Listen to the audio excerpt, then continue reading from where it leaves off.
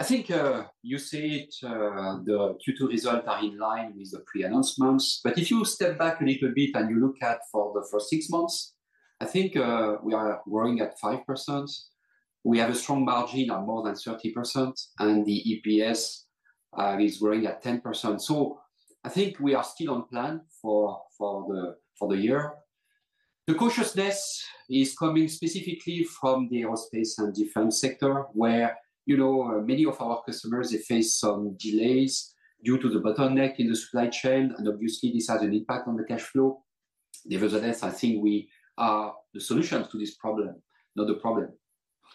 Pascal, um, when you say aerospace and defence, of course, it covers a vast array of, of, clients as well, from the purely commercial players to the military players as well. How, how systemic are the bottlenecks, the supply delays, or actually is it very, very specific? And as you say, you think the solutions are in place. Could you just expand upon that for us?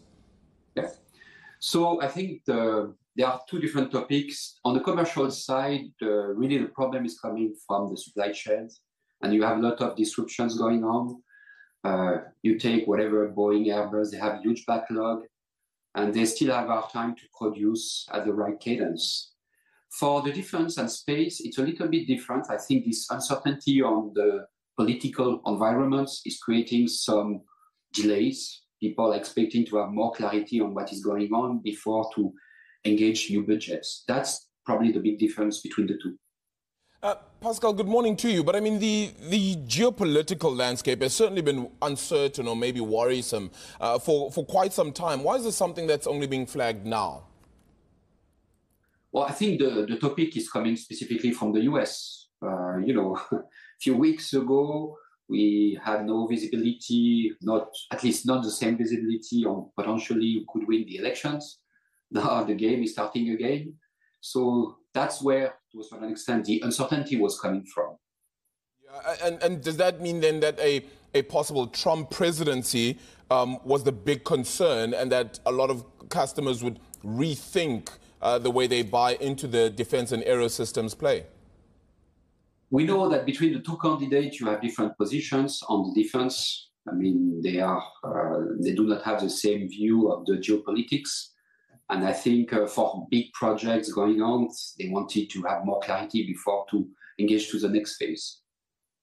Pascal, let me just uh, have a look on this side of the Atlantic. Of course, you'll be far aware, more aware than I am of, of the the political maelstrom at the top of French politics. It's been a, a, rocky road for European politics more generally as well.